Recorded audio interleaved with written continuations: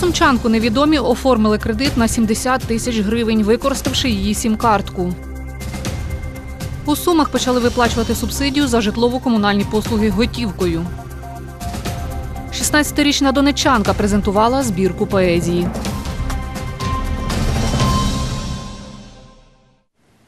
Вітаю в ефірі телеканалу ЮА Суми. Інформаційний випуск. 37-річна сумчанка звернулась до поліції через те, що на неї невідомі оформили кредит у банку на 70 тисяч гривень. Як це сталося та як діяти у таких випадках, дізнавалась Катерина Гладенко. Вікторія дізналась про оформлений на неї кредит у 70 тисяч гривень після того, як невідомі заблокували її сім-карту мобільного телефону. Зателефонував молодий чоловік, представився, що він робітник водафону. Сказав, що в них зломані вишки і треба встановити 4G. Прислав мені смс-ку, який пароль я повинна була йому продиктувати. І на цьому мій телефон перестав працювати. Так як я ніде не працюю, у мене двоє дітей, я в декреті знаходжусь, такі гроші я вже не брала би. У відділенні мобільного оператора від коментарів відмовились, так само, як і в А-банку, де невідомі оформили на неї кредит. Никаких комментариев не будет. Ніяких коментарів не буде. Якщо людина бажає отримати коментар, хай звертається на гарячу лінію, і в письмовому вигляді вам буде надано відповідь. Коли? Коли ви вимагатимете повернення незрозумілого кредиту? Ніхто від вас не вимагатиме кредит, який ви не оформлювали або який був оформлений на вас шахрайським способом.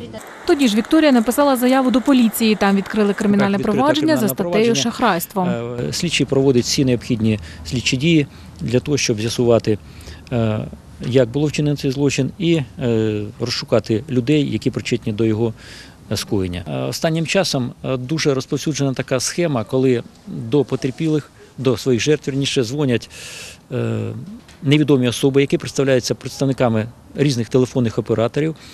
І е, говорять, що вони можуть е, виграли, виграти або виграли певні призи, чи мають якісь грошові кошти, бонуси на своєму рахунку телефонному. І ці грошові кошти можна перевести на банківські картки. Люди, як правило, дізнаючись, що там знаходиться кілька десятків, а може навіть і сотня гривень, е, вірять шахраям, е, говорять свої е, конфіденційні дані, Загалом до поліції Сумської області з початку року надійшло 107 подібних заяв. 47 з них працівники поліції розкрили. Катерина Гладенко, Валерій Коваленко та Віктор Лапченко. Новини на ЮАСуми. Ми направили офіційний запит до мобільного оператора Водафон з проханням пояснити, які відомості не можна передавати невідомим і як діяти у подібних ситуаціях.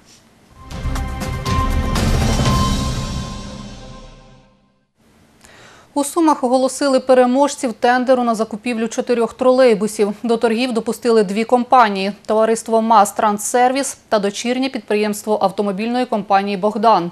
Переможцем тендеру стала остання. За чотири тролейбуси вони запропонували 22 мільйони 472 тисячі гривень. Е, Торги відбулися. Зараз очікуємо на перевірку документів протягом п'яти днів і будемо підтверджувати переможця. Після того буде е, тиждень на заключення на оскарження та заключення договорів. Сподіваємося, поставка тролейбусу відбудеться до кінця червня. Е, Третього учасника не відповідали документи, у них не вистачало сертифікатів. А які саме? Сертифікатів на продукцію. Наразі, за інформацією речниці КП «Електроавтотранс» Ірини Крячко, на підприємстві є 12 тролейбусів марки «Богдан». Востаннє їх купляли у 2015 році. Володимир Дворниченко, член громадської комісії з питань ЖКГ Сумської міськради, назвав дії замовника і тендерного комітету маніпуляцією. Зокрема, через документи, які подали двоє учасників непереможців – МАЗ «Транссервіс» і БКМ «Україна». Останнього відхилили, бо він показав не ціну, а кількість машин, тоді як МАЗ Транссервіс вказав ціну п'ятирічної давнини і на іншу марку. Підтвердження продажу продукції подав документацію від 2014 року на тролей, на продаж тролейбусів електрон. Ця ціна від 2014 року вона не дає ніякого уявлення про ціну на сьогодні. КМ е, Україна був знятий через те, що були подані е, як підтвердження продажу таких же товарів іншим. Ну якби підтвердження прода- продажу такої же продукції. е, Були подані договори з Приватбанком і гарантійне письмо письмо Приватбанка, в якому були закриті ціни на продукцію. Е, І тендерний комітет, якби так і казав е, КП «Електрофетранс», що це не видно ціни. Але є підтвердження продажу 13 машин, і гарантійний ой, і е, лист відгук Приватбанку. Ми не змогли зв'язатися із керівником Мастрансервіс Анатолієм Шевченком, аби він відкоментував такі розбіжності. Телефон, вказаний як контактний у тендерній документації, не відповідає. І ми попросили в аналітика порталу AllTrans.ua Івана Черниша пояснити, наскільки таке можливо.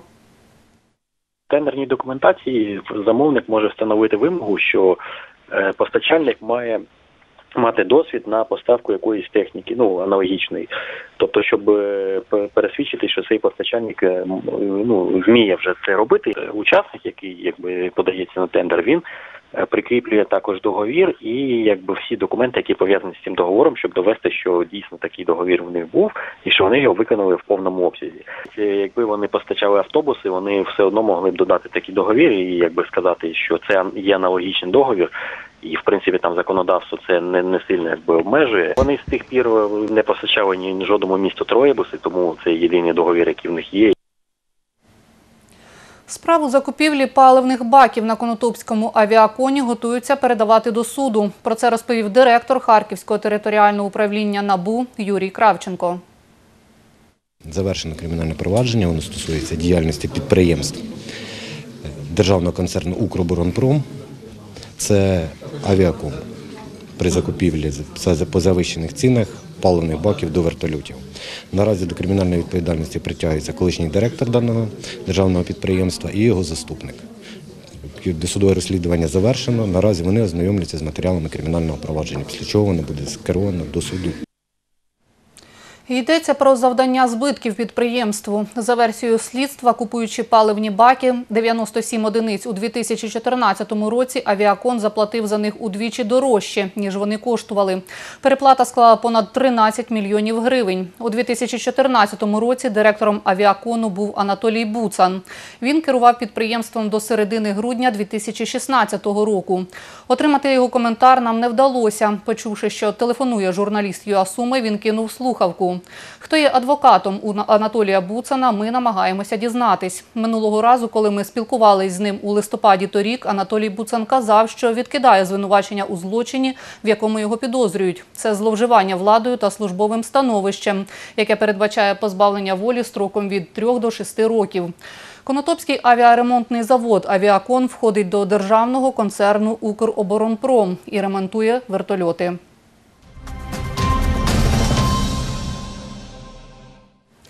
У Сумах почали виплачувати субсидію за житлово-комунальні послуги готівкою. Аби роздати гроші всім субсидіянтам, відділення Ощадбанку працюють з понеділка по суботу з 8 до 19 години без перерви.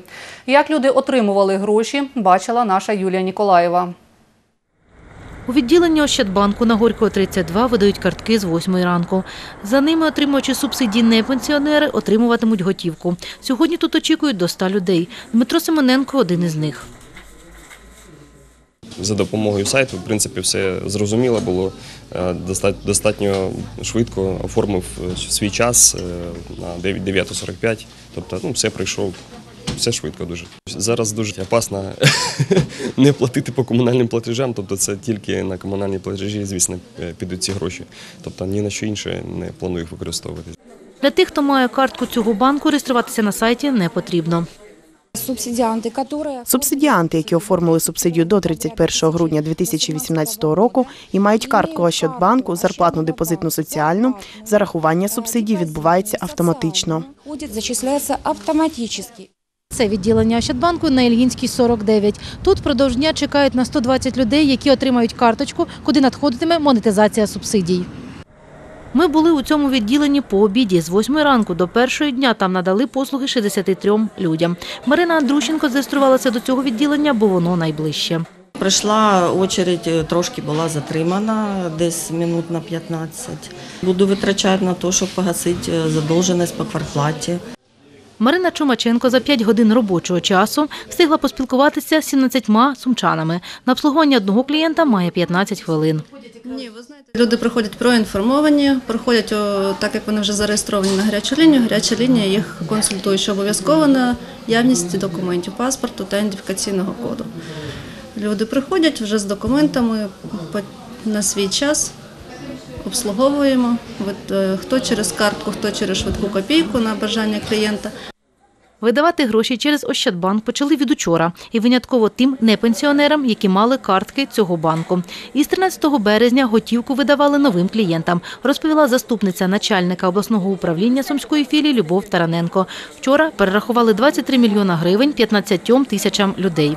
Суму за сьогодні підрахують завтра. Юлія Ніколаєва, Сергій Лазаренко. Новини на ЮА Суми. Збірку поезії Моє Олександри Іванової презентували сьогодні в агенції промоції Суми. Авторка живе в Дніпрі. Туди переїхала з Донецької області. Своє перше зібрання віршів презентувала в Сумах, тому що втілити цю ідею допоміг її товариш сумчанин. Подробиці про поетку і видання дивіться далі. Малесенькі очі, наповнені болем, все дивляться жалісно в очі мої. Душа, яка рветься від непокою, тихенько приховує болі свої. Маленька дитина, вона без матусі. Дитина та є, але наче нема. І видно страждання у кожному русі. Малесеньке серденько, крив духова. Так авторка цитує один із своїх віршів. Тема відносин у родині – одна із ключових у творчості 16-річної дівчини. Олександра з сестрою зростала в дитбудинку. Від війни на Сході переїхала з Донбасу у Дніпро, де зараз і живе. Історія і творчість дівчини зацікавили сумчанина Богдана Скіпчика. Її вірш уперше почув у таборі в Приморську. Я зрозумів, що щось треба з цим робити, і в принципі потім ми підтримували зв'язок. Тобто я дивився в її соцмережах її вірші, які вона вже опубліковувала, і потім вирішив запропонувати таку ідею. І ось так таким чином виникла збірка. Е, Ми запускали краудфандингову компанію, е, тобто всі небайдужі люди, які мог- могли долучитися до цього проекту. Плюс е, там я вже там ну також долучився максимально до цього, що не вистачало. І таким чином ми створили цю збірку. Тираж е, 64 екземпляри. Писати Олександра почала в 10 років. Перший вірш присвятила однокласникам. Моє – її перша збірка. Там багато яких тем, але такі основні це відносини і стосунки, це ті ж самі відносини в родині. Тобто, як я зачитала сьогодні один вірш, і в мене є ще декілька, вони там повинні бути. Це те, що зв'язане з Україною, зі Сходом. Ну, про Майдан в мене є. Ну, тобто таке, те, що я бачу, те я і пишу, те, що є актуальним на сьогоднішній час, і те, що буде актуальним завжди. Владислава Кудельник, редакторка видання, розповідає про труднощі в роботі над збіркою. автор, з яким малося все погоджуватись, була в іншому місті. Тобто, у нас була лише одна зустріч, де ми могли обговорити якісь загальні питання, там, типу обкладинки або мови взагалі всього видання, або рубрик. І це все було так швидко. І Ну, все інше доводилося робити в телефонному режимі з фотографіями е, по ночах, іноді, тому що у Саші навчання. Пережил ребенок много в жизни. и Пережила дитина багато в житті, тому у будь-якому вірші відчувається біль. Цю дівчинку треба підтримати для того, щоб вона могла продовжувати писати і радувати Для нас. того, чтобы она могла, чтобы она продолжала писать, радовала нас. Ця молода талановина, е, талановита дівчина з важкою долею вилила свої страждання, переживання, мрії у вірші, у красиві рядки. Е, На поверхні вони наче дитячі, але вони глибокі і талановиті, як вона. Вірші Олександри можна буде почути тут в агенції промоції завтра о 17-й годині. Дівчина братиме участь у літературному вечорі. Анна Книж, Владислав Бурнаков. Новини на ЮА Суми.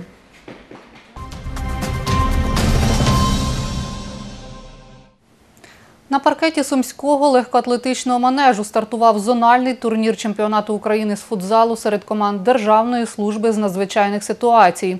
У зоні схід путівки у всеукраїнський фінал виборювали шість команд. Хто пройшов далі, розкаже мій колега Олександр Качанов. В нашій східній зоні приймають участь шість команд.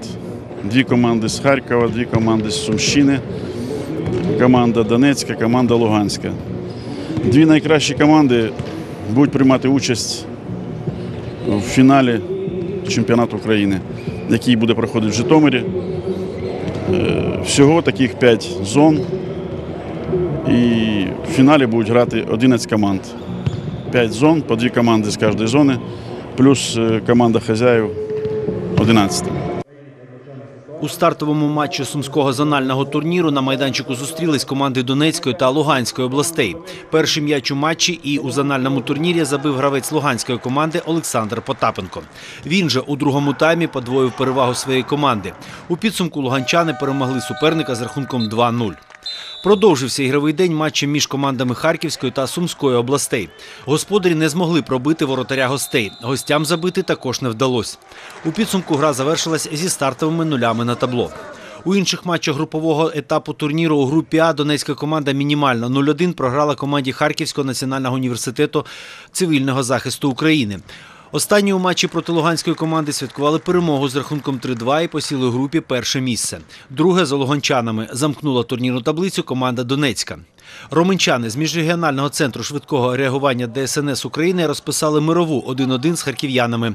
У матчі між роменською командою та командою Сумської області зафіксований рахунок 5-0 на користь романчан. Роменські рятувальники у плей-офф вийшли з першого місця, харків'яни з другого. Команди Донецької та Сумської областей зустрілись у матчі за 5-6 місця. На два влучні удари гостей господарі майданчику відповіли одним і у підсумку замкнули підсумкову турнірну таблицю. Команда Донецької області завершила турнір на п'ятому місці. У першому харківському півфіналі е, команда Національного університету цивільного захисту з рахунком 1-3 поступилась збірній Харківської області. Другу путівку у фінал розіграли роменчани та команда Луганської області. Під час основного часу матчу команди не забивали, а у серії пенальті перемогу святкували луганчани. У бронзовому поєдинку на паркеті манежу зустрілись руменські рятувальники і команда Харківського університету цивільного захисту. Єдиний гол приніс перемогу і бронзові медалі харківській команді. Ми не маємо права програвати такі турніри, але вже що є, то є. Нам ще треба працювати, нам ще треба тренуватись. Хлопці ну, на- ростуть на глазах, можна так сказати. Гарантувавши собі місце у всеукраїнському фіналі, команди Луганської та Харківської областей розіграли головний трофей сумського турніру. Луганчани у ворота харківської команди забили два голи у першому таймі і ще чотири у другому. Харків'яни на це відповіли трьома влучними ударами по воротах після відпочинку. До Харкова їде срібло, на Луганщину золото і головний трофей сумського зонального турніру. Друге місце, я вважаю, призери також непогано. Виходимо далі в Житомир. Завдяки характеру, тільки характер. Наш вільний, міцний луганський характер. Тільки благодаря цьому. Я своїм хлопцям кажу: ми можемо десь не добігти, може ми слабіше технічно, але у нас великі серця і залізні. Ви зрозуміли. Команди Луганщини та Харківщини представлятимуть східну зону у всеукраїнському фіналі у Житомирі. Олександр Качанов, Віктор Лапченко. Новини на ЮАСуми. Новинний день на ЮА Суми розпочне завтра о 7.30. Діана Крахматова. На все добре.